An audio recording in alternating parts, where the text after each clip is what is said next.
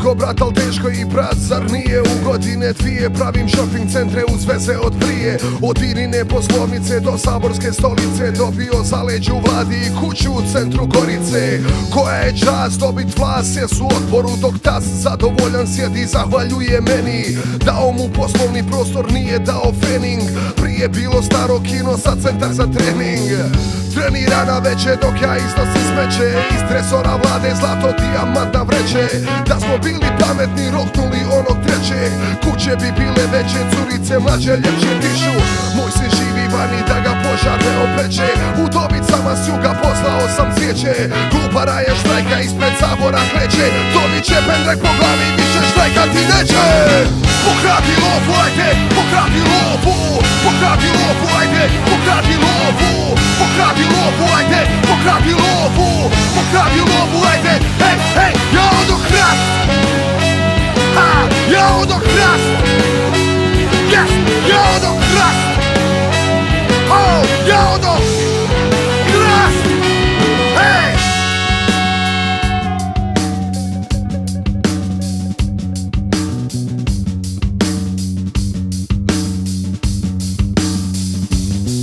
Sad si uopćen, još te care čeka lepo glava Samo deset godina, al bolje to neg ništa valjda Drugčija je vlada sada i neće te spasit mlada. Frakcija tvoje stranke pokradi ideala tvojih para Stanova stipendija tvoji, bila buka dva, tri dana I kut koji mili moji, jedni su ti tvoji Bez tebe ne znaju bit svoji. Ne znaju kako se kovanica skuplja broji. Ne znaju ništa osim otišta narodnjake Bit patrioti veliki kad padne iz stranke I na fajnom tu znaš nogometaše slavne.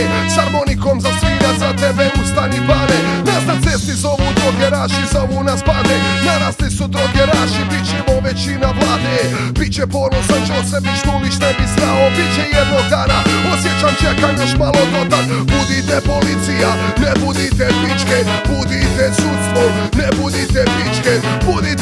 Birači, ne budite pičke. Ja sam bio pička, nisam mogao tako više. Hajde, pokrati lovu, hajde, pokrati lovu Pokrati lovu, hajde, pokrati lovu Pokrati lovu, hajde, pokrati lovu Pokrati lovu, hajde, hej, hej Ja odo hrast